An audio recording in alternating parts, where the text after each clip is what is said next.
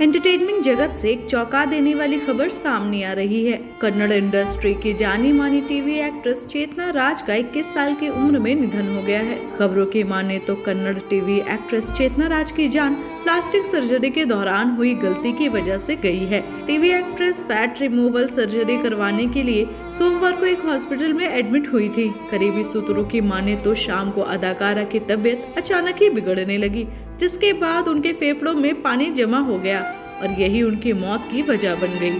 Police के अनुसार surgery की खबर एक्ट्रेस के माता पिता को नहीं थी। चेतना अपने दोस्तों के साथ ही हॉस्पिटल चली गई थी। बेटी की मौत की खबर सुनने के बाद परिवार वालों ने डॉक्टर पर लापरवाही का इल्ज़ाम लगाया है और कहा है कि सर्जरी के दौरान डॉक्टर द्वारा की गई गलती से चेतना का निधन हुआ है।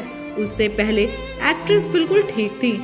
चंद लोगों के बहकावे में आकर कमर में अधिक चर्बी की सर्जरी करवाने परिवार के किसी सदस्य से पूछे बिना वह सर्जरी के लिए आई थी।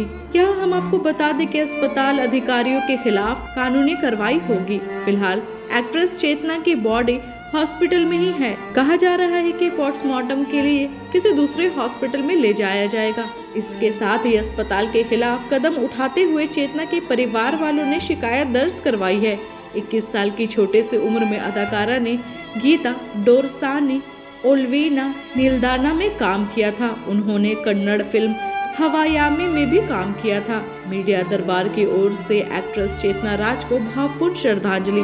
धन्यवाद।